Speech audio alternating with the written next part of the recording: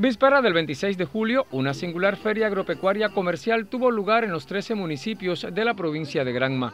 El concurso de cerca de 100 empresas, principalmente del sistema de la agricultura, del Ministerio de la Industria Alimentaria y del Comercio y la Gastronomía, permitió que las familias de este suroriental territorio tuvieran acceso a una diversidad de productos.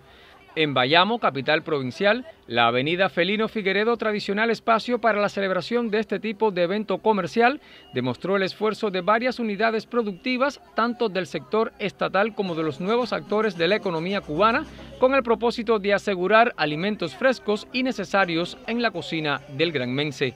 Es bastante aceptable esta, esta gran feria y queremos que siempre haga una feria para el pueblo, que siempre se mantenga para que el pueblo se siente satisfecho. Organizado, el personal aquí en la cola también, todo bueno, bien, bien. ¿Y la variedad de productos? También, igual, de igual forma, todo está bien. Yo compré eh, plátano, boniato, compré jamonada, compré pasta untable.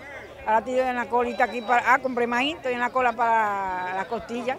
Si bien no es un secreto las complejidades que hoy presentan los abastecimientos y recursos para desarrollar las actividades agrícola e industrial, en Granma existen potencialidades para asegurar que ferias como estas tengan lugar en un periodo de tiempo más corto, aseguró Yudelquis Ortiz Barceló, primera secretaria del partido en Granma, al recorrer los stand de ventas junto a Yanexi Terry Gutiérrez, gobernadora y otras autoridades del territorio a la par de la comercialización de productos agropecuarios, lácteos, cárnicos, de la gastronomía y otros, acontecieron además actividades culturales y demostraciones deportivas.